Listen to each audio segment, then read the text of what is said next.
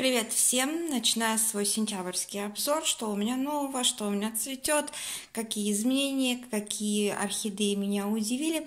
И хочу эм, начать вот с этих двух красоток, две вандочки. Вот так вот они стоят у меня вместе, букетиком.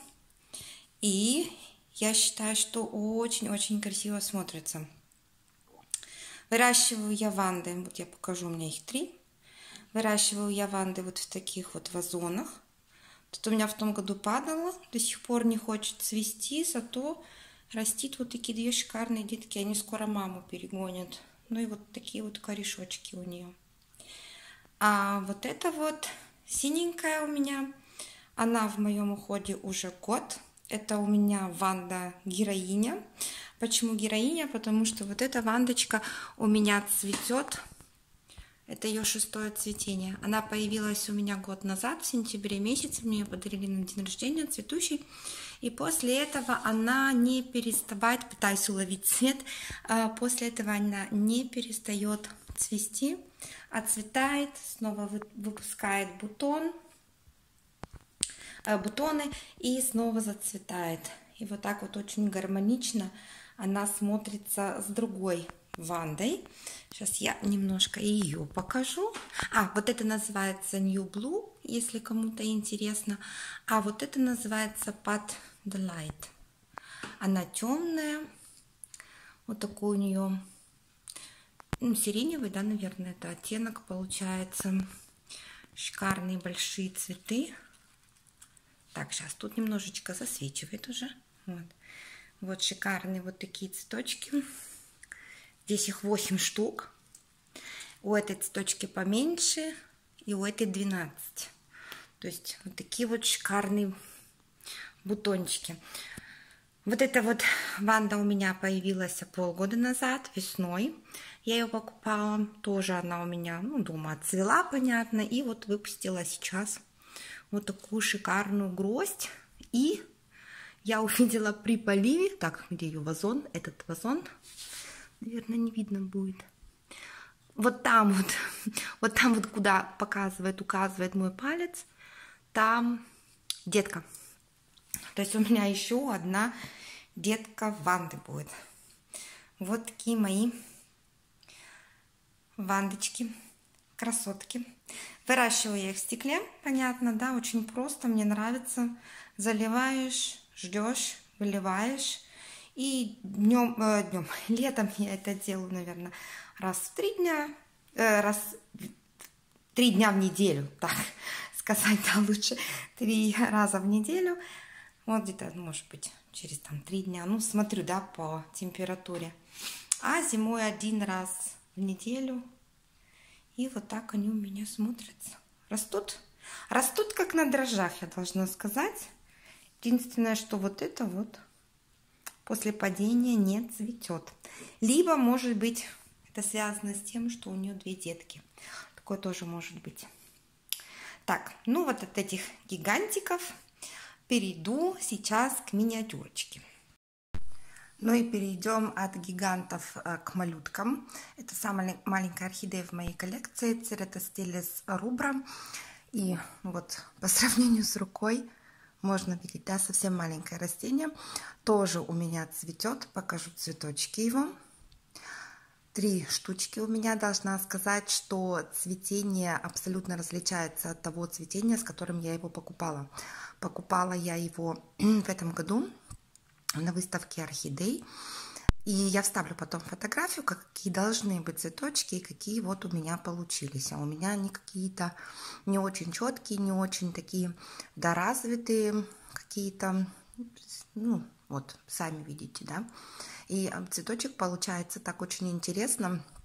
Вот у него вот эти вот э, стебелечки его, они окутаны вот такими чешуйками коричневыми.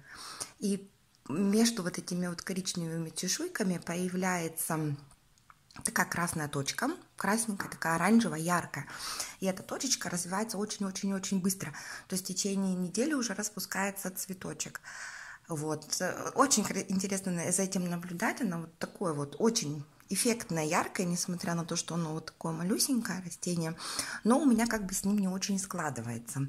Когда я его купила, он очень тяжело перенес адаптацию, у него и так немного было листьев, но э, у меня эти половина листьев еще и пожелтели, отпали, и долгое время он вообще стоял без всяких движений абсолютно, и только вот, наверное, летом в конце даже лета он начал расти и вырастил мне вот этот вот один вот листик.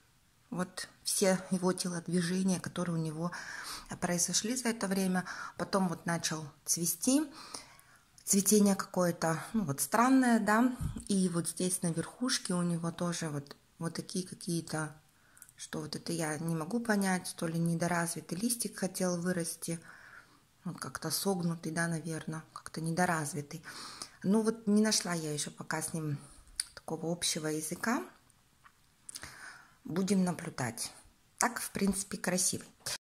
Ну и все, что это все было, то, что у меня вот сейчас цветет в сентябре. Ну, конечно, что-то еще остаточные цветения какие-то остались, но я их уже показывала, повторяться не хочется. И перейду к своим новиночкам. Вот эту вот котлейку я заказала совсем недавно, она у меня, это, это котлетония, даже не котлей, котлетония, вайнот. И вот такая растушка ко мне пришла. Вот, можно видеть. Начала уже расти, начала выпускать корешочки.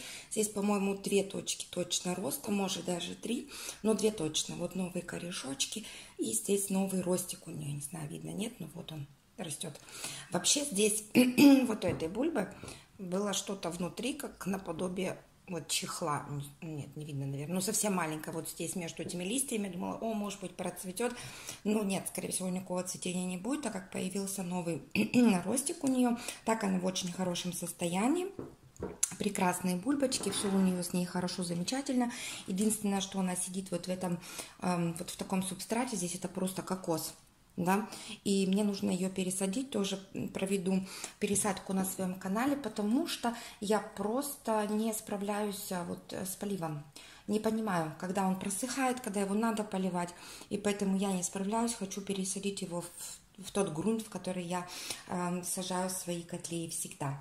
Вот это вот первое растение, и второе растение заказала два, и второе растение это вот его покажу, вот так вот в камеру, наверное, не очень войдет. Это дендробиум апифилум.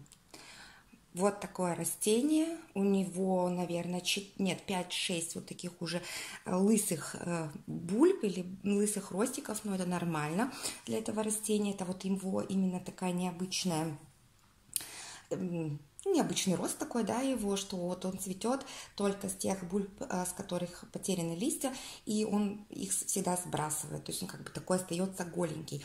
А листочки, как вот здесь можно видеть, только на новых бульбочках растут, которые совсем молодые, и тоже они, когда придет время, тоже сбросятся. Я так как понимаю, что у него, или он уже начал входить вперед покоя, потому что вот эти новые ростики, кейки не растут уже, то есть они просто листочки держатся, но никакого роста нету. Также нет зачатков здесь, вот здесь у него точка роста, он на блоке, тоже зачатков новых нету, поэтому я думаю, что у него такой своеобразный период покоя. Скорее всего, может быть, к зиме он и зацветет. Тоже буду делать пересадку, так как сидит на блоке. На блоке я не выращиваю, потому что нет возможности очень часто поливать или опрыскивать. С блока я убрать тоже его не могу, потому что корнями оплетено вот здесь весь блок его, и поэтому вот у меня такая задумка, блок обложить мхом, поставить его в какой-то вот так вот горшок. Горшок может кору там положить, что-то еще, и вот так вот его выращивать. Ну, буду думать, буду смотреть, как все сделаю, обязательно покажу, как у меня это все получилось. Вот. Ну, а на этом и все. Вот все свои цветущиеся, свои новиночки я показала. Поэтому всем спасибо за просмотр. Всем прекрасного дня. На этом с вами я прощаюсь.